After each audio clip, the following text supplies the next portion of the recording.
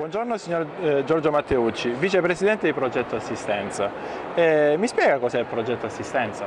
Progetto Assistenza Franchising appunto, è una rete nazionale di franchising che accorpa in sé eh, agenzie che si occupano di servizi integrativi e sostitutivi alla famiglia eh, per assistenza sia domiciliare che ospedaliera rivolti alla persona anziana e o anche non autosufficiente. Il progetto assistenza nasce nel 2011, però ha alle spalle un'esperienza eh, confermata dal sottoscritto e dalla, dal Presidente di oltre 16 anni nel territorio eh, toscano.